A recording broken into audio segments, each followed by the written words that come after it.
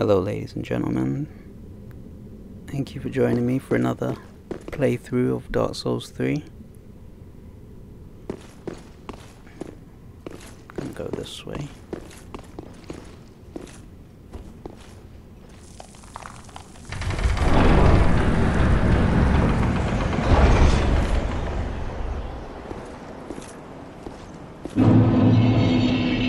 Today looks like I'm at the high wall.